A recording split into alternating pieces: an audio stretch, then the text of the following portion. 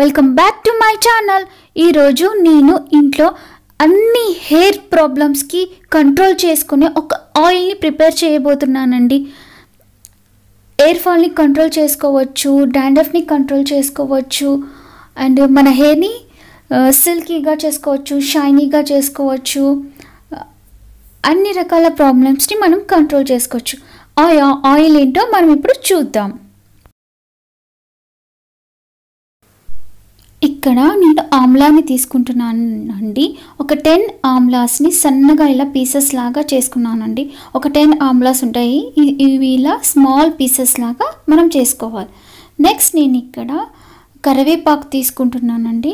ఒక hand two hands ఫుల్గా ఉండే పట్టేంత కరివేపా కరివేపాకు తీసుకుంటున్నానండి.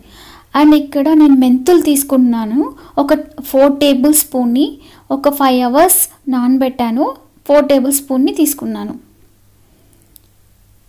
నెక్స్ట్ నేను ఇక్కడ అలోవెరాని చిన్న పీసెస్ లాగా చేశానండి. ఆ లీఫ్ని చిన్న పీసెస్ లాగా చేసిన ఒక కప్ తీసుకుంటున్నాను.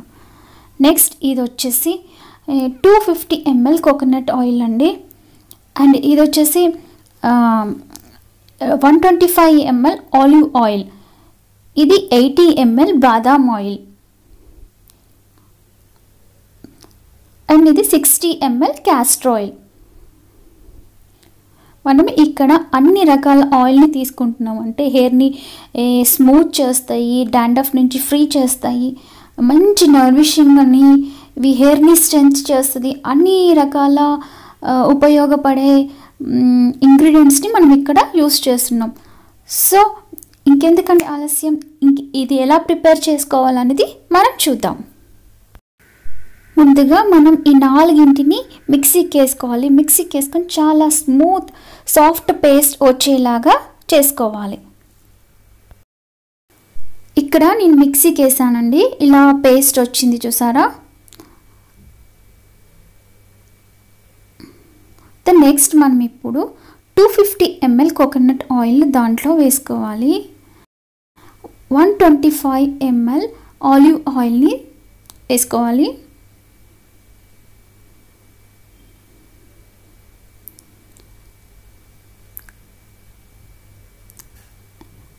ఎయిటీ ఎంఎల్ ఆల్మండ్ ఆయిల్ని వేసుకోవాలి.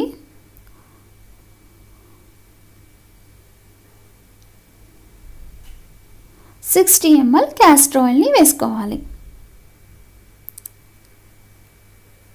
ఈ నాలుగు ఆయిల్ని ఆయిల్స్ని దాంట్లో వేసుకొని స్టవ్ పైన పెట్టుకోవాలి.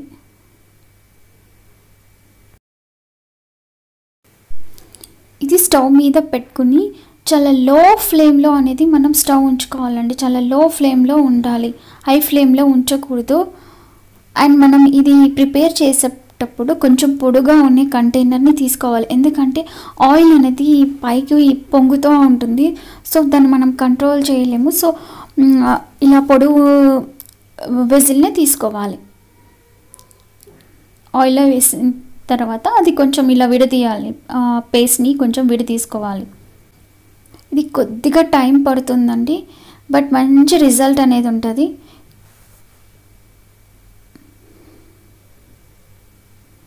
ఇలా తిప్పుతో ఆయిల్ అన్నది మంచిగా కలవాలి అది.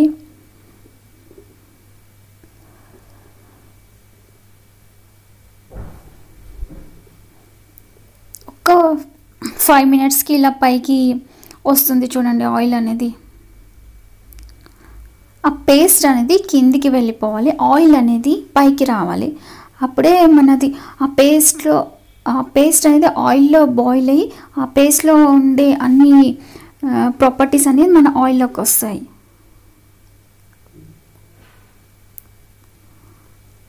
మన ఆయిల్ దగ్గర పడుతుందండి అలా మిక్స్ చేసుకుంటూ ఉండాలి. లేదంటే ఆ పేస్ట్ అనేది కిందకి వెళ్ళిపోతుంది కదా అది మాడిపోయే ఛాన్సెస్ అనేవి ఎక్కువగా ఉంటుంది. చూసారా? మన ఆయిల్ అనేది పైకి వచ్చేస్తుంది చూసారా? ఆ పేస్ట్ అనేది కిందకి వెళ్ళిపోతుంది ఆయిల్ పైకి వచ్చేస్తుంది. సో ఇప్పుడు మనం జాగ్రత్తగా ఉండాలండి. జాగ్రత్తగా ఉండాలి. ఎందుకంటే ఆయిల్ అనేది పైకి వస్తుంది కదా పొంగే ఛాన్సెస్ అనేవి ఎక్కువగా ఉంటుంది. అండ్ కింద అడుగుంటే ఛాన్సెస్ అనేవి ఎక్కువ ఉంటాయి. సో మనం ఇక్కడ జాగ్రత్తగా అనేది ఉండాలి. స్పూన్తో అలా తిప్పుతూ ఉండాలి. ఆయిల్ అయిపోయిందండి. మనం ఇప్పుడు ఇక్కడ స్టవ్ ఆఫ్ చేసుకోవాలి. ఆఫ్ చేసుకున్న తర్వాత ఒక అది చల్లారి తర్వాత మనం కంటైనర్లోకి తీసుకోవాలి. ఇక్కడ ఆయిల్ అనేది చల్లారిపోయిందండి. మనం ఒక క్లాత్ తీసుకొని దాని ఆయిల్ అనేది వడకట్టుకోవాలండి. అలా వేసి వడకట్టుకోవాలి. అలా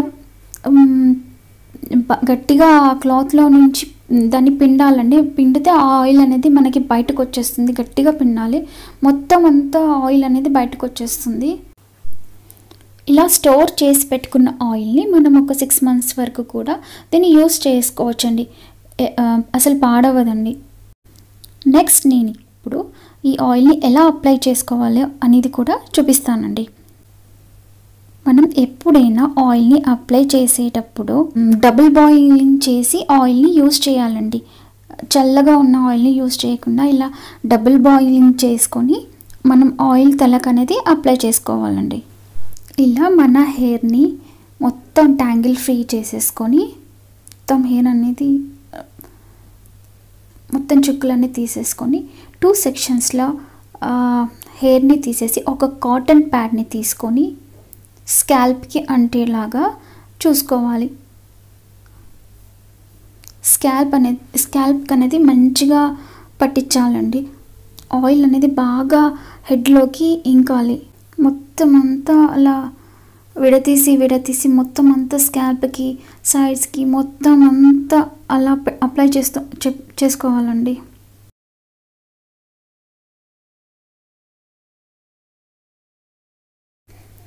కాటన్ ప్యాడ్తో అలా అప్లై చేసిన తర్వాత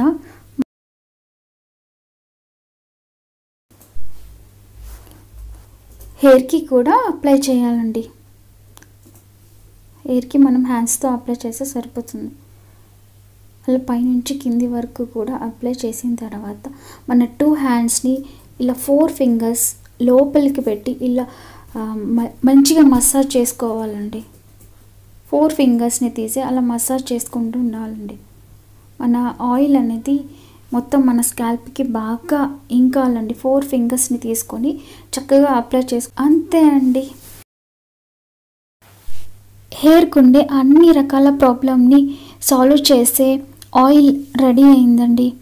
ఐ హోప్ ఈ వీడియో మీ అందరికీ నచ్చిందని అనుకుంటున్నానండి. నచ్చితే కనుక లైక్ చేయండి షేర్ చేయండి సబ్స్క్రైబ్ చేసుకోండి. Thank you for watching.